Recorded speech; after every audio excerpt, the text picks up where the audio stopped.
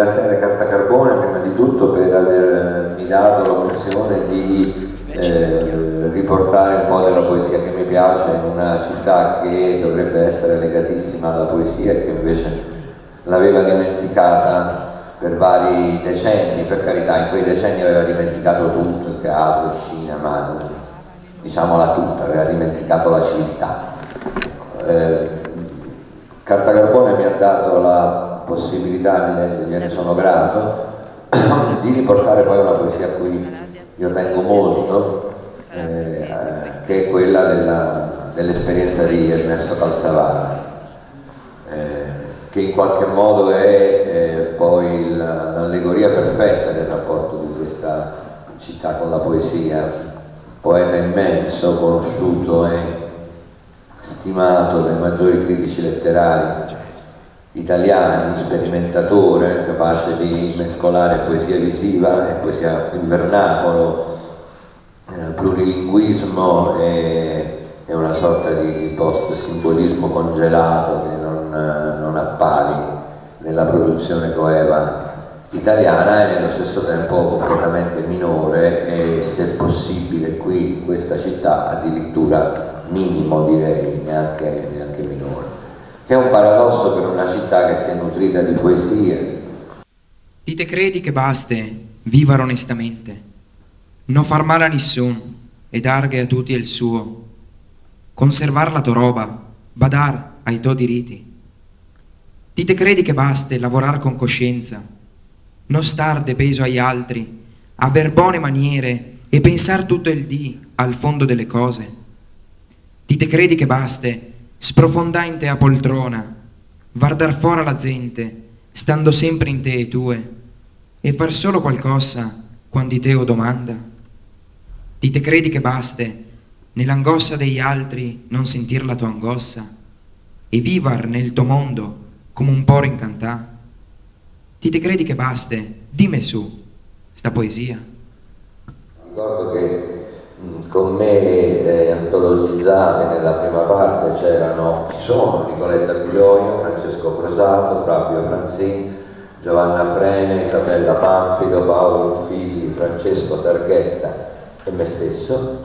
Ormai se gastua la fiamma, se sbassa la linea del diagramma e tu mi hai seppellito quei ricordi nel tuo immenso sarcofago d'amore quanto dice Lello sulla poesia. Eh, la poesia è, eh, non solo esiste prima dei, po dei poeti, ma è anche la forma forse più completa, più sintetica e più necessaria per raccontarsi, per narrarsi e anche per guardare il mondo eh, e riportarlo senza filtri. Chetati, crudele tiranno, Rallenta la tua aspra golosità che tutto divora, muschio mordace, voluttuoso mostro. Già mi privasti della capacità di sognare, dipingere un mondo di colori da infante, in virtù del tuo scettro, non più corro scalzo sull'erba, per rispetto al tuo trono, non più brandisco bastoni d'acciaio o indosso lucide armature, spensierato, testa coronata, non più.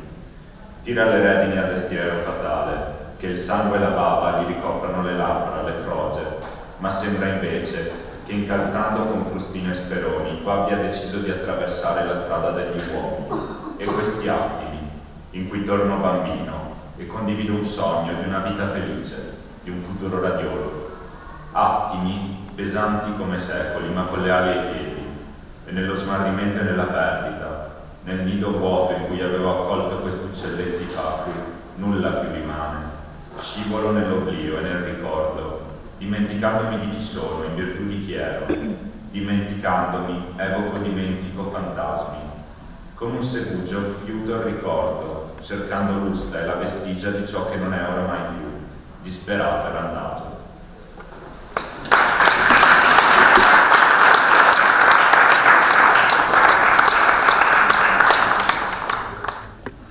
Ulisse era quel nessuno che vinse e scappò, accettando la sconfitta di quella vittoria, perché nessuno ha il cuore di dire la verità, trovare la strada. Tu come hai deciso, come hai capito? La saliva d'inchiostro bagna la mia gola. Sai che non tornerò indietro, con parole silenziose sparirò. Santa non sei, ma martire ogni giorno per decreto umano. Sei la parola, il filo di rame conduttore garante dell'impulso vitale, lacerata dalla tua istruzione, provinessa, il riscatto di verità.